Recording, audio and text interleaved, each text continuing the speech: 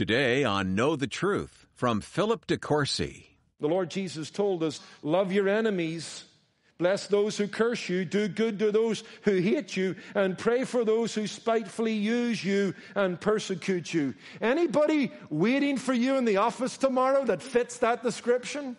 Anybody in your home? Anybody in your neighborhood? If he can do them good, even when they do him evil, so can you and I.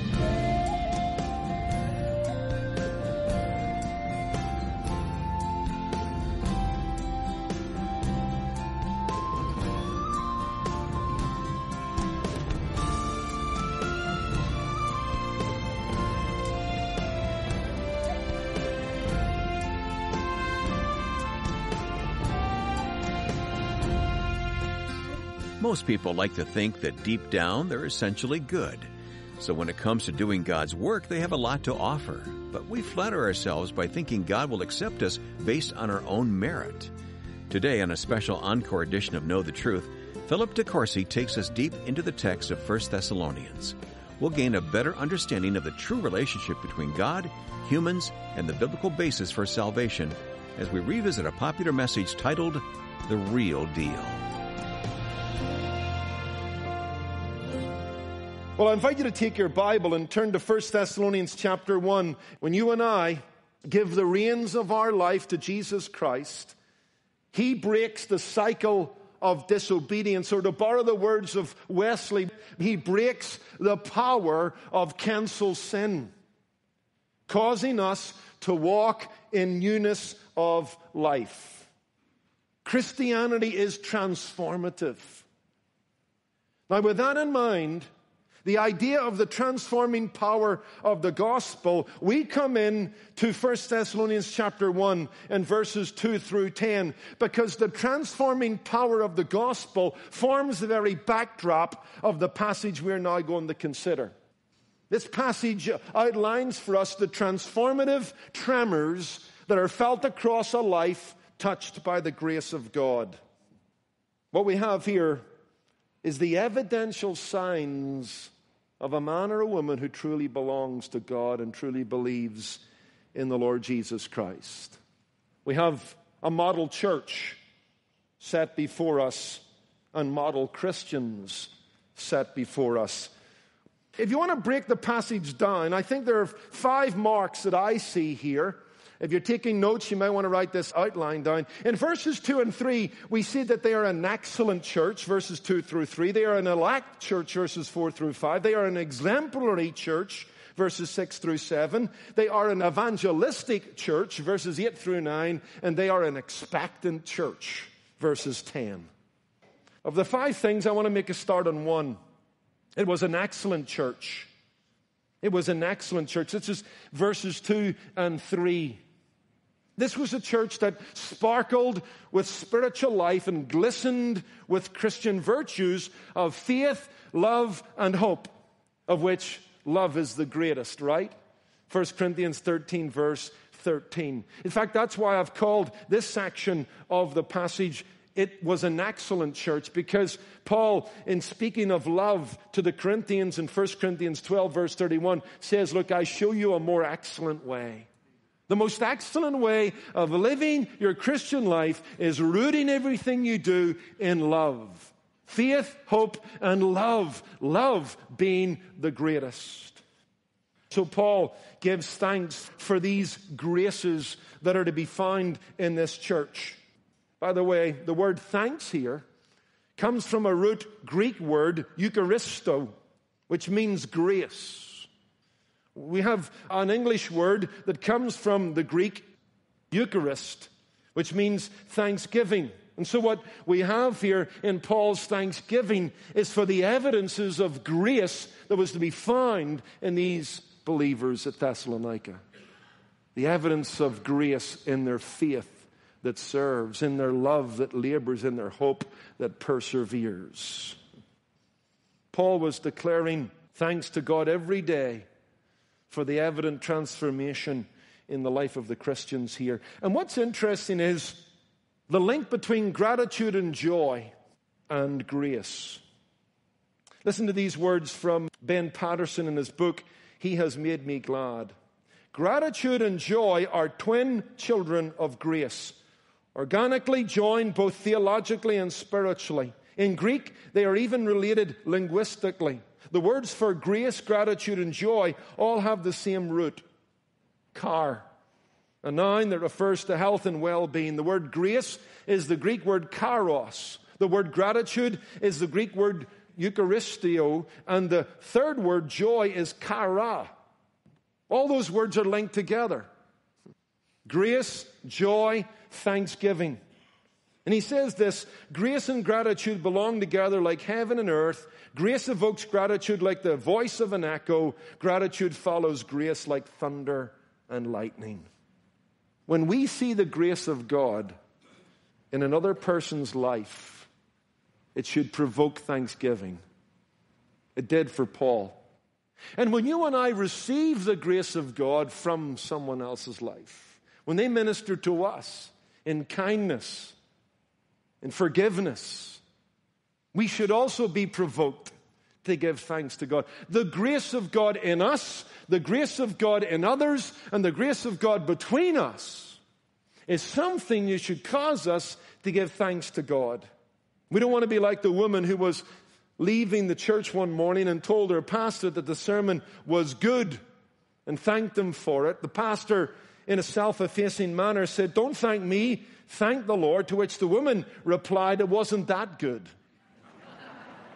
My friend, when God ministers to you through another, when the grace of God is evidently at work among us, it's good. It ought to be that which sparks our thanksgiving. So let's look at this trinity of graces that follow in a natural order here faith, love, hope. One rests on the past, one works in the present, and one looks to the future. First, there comes faith, which is the source of all Christian experience. Then there comes love, which is the governing principle of all Christian behavior. And finally, there comes hope, which is the beacon which guides us to the life to come. Faith is upward, love is outward, hope is forward. Now let's look at the first Christian virtue here that marks this excellent church. We see a faith that functions. Paul acknowledges their faith, doesn't he? He gives thanks to God for their work of faith. He's speaking about any activity related to Christian service that is inspired by faith in the Lord Jesus Christ. He's speaking about dedicated deeds that spring from faith in the Savior. Now, listen, John Calvin got it right when he said, We're saved by faith alone, but saving faith is never alone. When you and I think of faith, when you and I think of our dependent trust in God and the Lord Jesus Christ, we need to see that there are two sides to faith in Christ. On the one hand, there is the passive side of faith. That's faith resting in what Jesus did. Let's go to Ephesians 2 and show you this. Ephesians chapter 2 and verse 8. Very familiar words, but worth reading again. Ephesians chapter 2 and verse 8. For by grace have you been saved through faith, and that not of yourselves, it is the gift of God, not of works, lest anyone should boast. This is faith resting. This is our dependence in the Lord Jesus Christ and all that He did on the cross for us. Paul explains that back in Romans chapter 3 in verse 20 where we read, Therefore, by the deeds of the law, no flesh will be justified in his sight, for by the law is the knowledge of sin. But now the righteousness of God apart from the law is revealed, being witnessed by the law and the prophets, even the righteousness of God through faith in Jesus Christ, to all and on all who believe. For there's no difference, for all have sinned and fall short of the glory of God being justified freely by his grace through redemption that is in the Lord Jesus Christ, whom God set forth as a propitiation by his blood through faith to demonstrate his righteousness. This is faith resting. There comes a point when you and I give up on ourselves, give up on our self righteousness, give up on working our way to heaven Trying to climb to heaven by means of your good works is like trying to climb, said George Whitefield, on a rope of sand. It doesn't work. God has done that work for us in Jesus Christ. He is the propitiation for our sin. That word carries the idea of satisfaction. Jesus Christ became the sheath for the sword of God's justice. That's faith resting. That's the passive side. But once you and I have put our faith in the Lord Jesus Christ, that brings us into union with Jesus Christ. Just as a branch is in a vine, it will produce fruit. So the life that is now connected to Jesus Christ by faith will produce works inspired by faith. Isn't that what Paul says in Ephesians 2, verse 10? Having said that we are saved through faith alone, in Christ alone, as a matter of the gift of God, he then goes on to say, For we are his workmanship, created in Christ Jesus for good works. We're not saved by good works, but we are saved for good works. This is the other side of faith. This is the active side of faith. And this is what we're dealing with here in 1 Thessalonians chapter 1, the active side of faith. There came that moment when they put their faith in the Lord Jesus Christ and turned from idols to serve the true and the living God. That was their conversion. And it issued a, a life changing experience that produced certain works inspired by faith. I hope that's what's going on in your life. You know what? Don't be falling prey to the idea of being a card carrying Christian. Well, you can pull out a card of the day and the hour you walked some mile or heard some message. That's great, and that may be the start. But you know what? I hope that there's faith that's living. This is James' issue. This is James' fear. He said, you know, there's some people who profess faith, but it's a dead faith.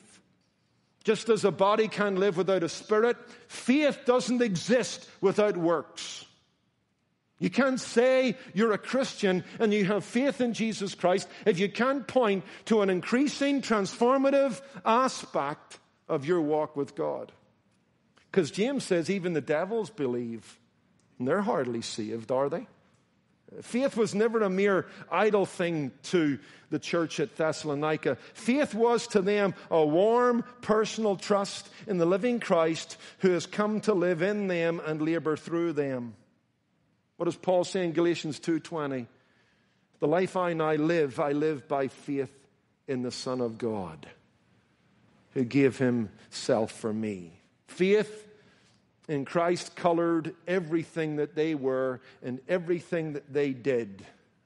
And I think that's the challenge here as Paul marks out those who are truly elect, those that are the real deal, those that are the wheat and not the tares, those that show signs, evidential signs of true conversion, they will exhibit a life where faith functions on a day to day basis. Their faith shapes their marriage. Their faith shapes their child rearing. Their faith shapes what they do with money. Their faith shapes their sexual morality, so on and so forth. Their life bears the fruit of the image of God and the likeness of the Lord Jesus Christ. Listen, don't say you have faith in the Lord Jesus Christ if you don't show works towards the Lord Jesus Christ. Faith cannot exist without works any more than a body can live without the spirit, or steam exists without water, or there'd be a desert without sand. One is the root, and the other is the fruit. They're a combo platter. They belong together. They are inseparable. We are not saved by works, we are saved unto works. We are saved by faith alone, but saving faith is never alone. Let's look at the second virtue. Whenever we have a faith that functions, secondly, we have a love that labors. A love that labors. The Thessalonians were also marked by an abounding and resounding love for each other. We give thanks to God always for you all, mentioning you in our prayers, remembering without ceasing your work prompted by faith and your labor prompted by love. That's how you could read that.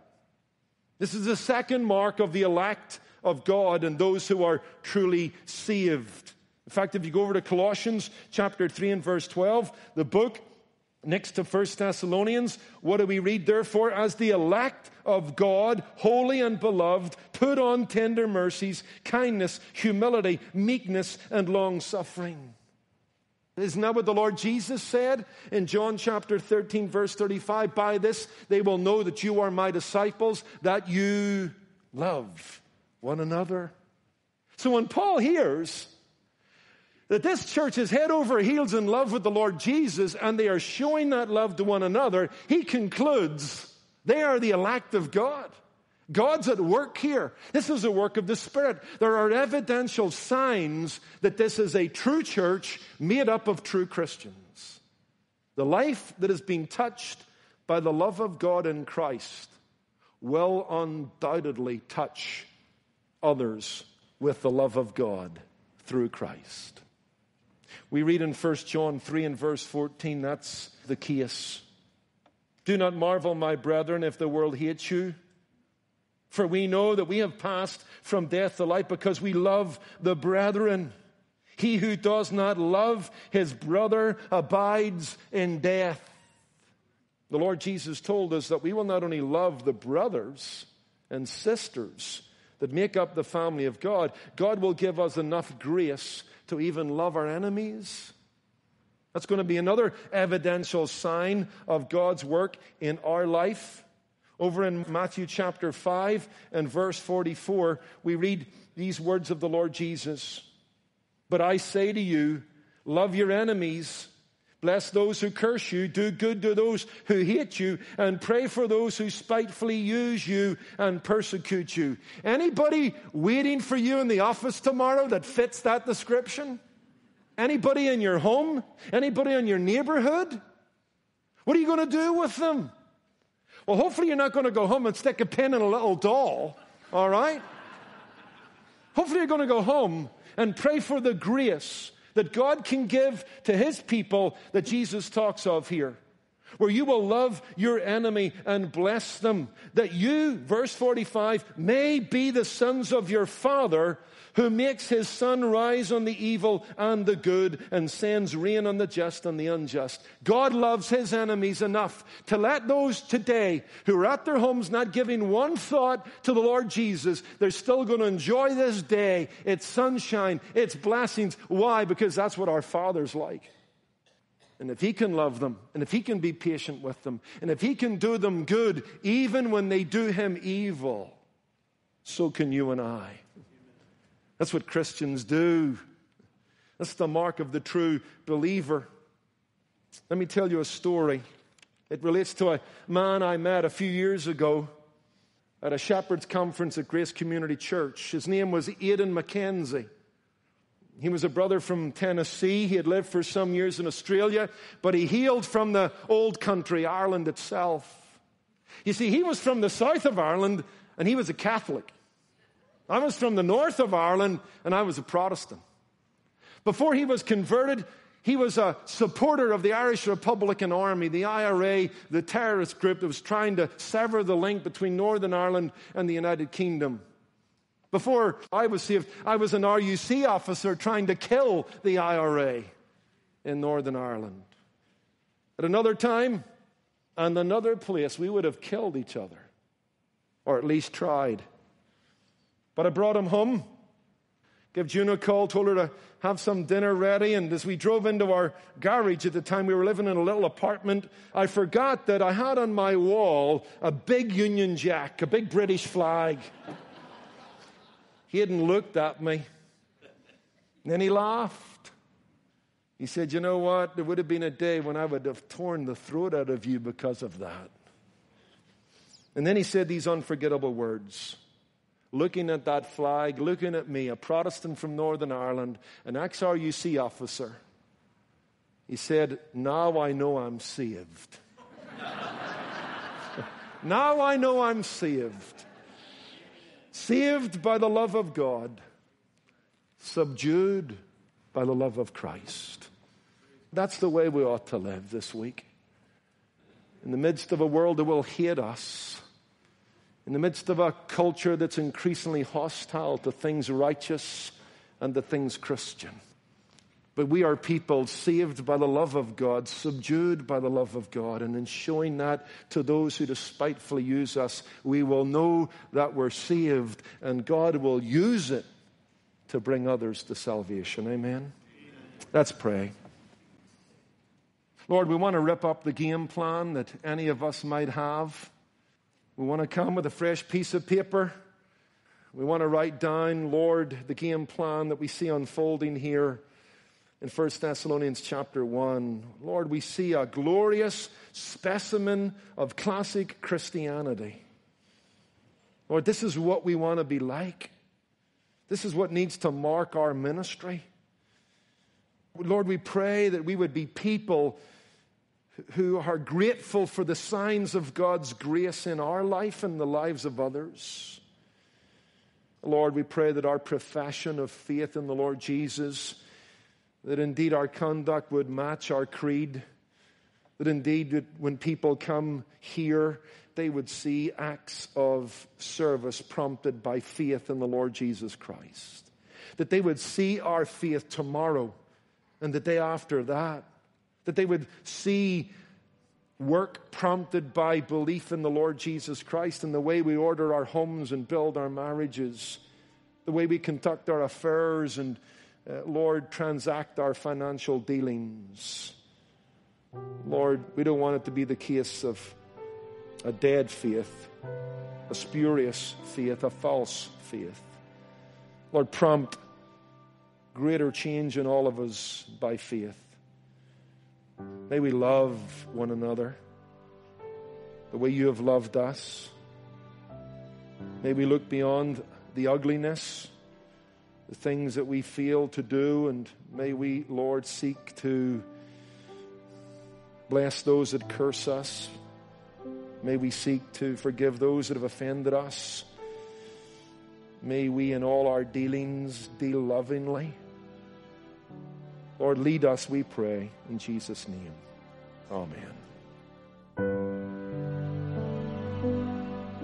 Learning to accept the love and the grace of God that's a lifelong struggle for many of us. You're listening to Know the Truth with Philip De Courcy.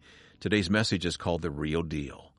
It's part of our series called Classic Christianity, and we're revisiting it today on this special encore edition of Know the Truth. But remember, you can always revisit any message on our website, ktt.org, or by downloading the KTT app. It's a joy to bring you clear, convicting Bible teaching every day. But you know, it's not enough just to hear the Word preached. We need to read it for ourselves. Personal time in God's Word is crucial for our spiritual health. But if we're honest, reading our Bibles can sometimes feel intimidating, can it? Perhaps you're unsure where to start or you struggle to stay focused. Whatever the case, we have a book that we think will be of great help. It's titled How to Eat Your Bible. Author Nate Pickowicz helps you overcome these barriers and cultivate an appetite for God's Word. We'd love to send you a copy of this powerful book as our way of saying thanks for your generous financial support of this program. To give and request the book, call 888 644 8811 or visit ktt.org. Know the Truth is funded by listeners like you. Whether you can give $25, $50, $100, your donations make a lasting impact, helping more people hear God's Word taught and applied properly.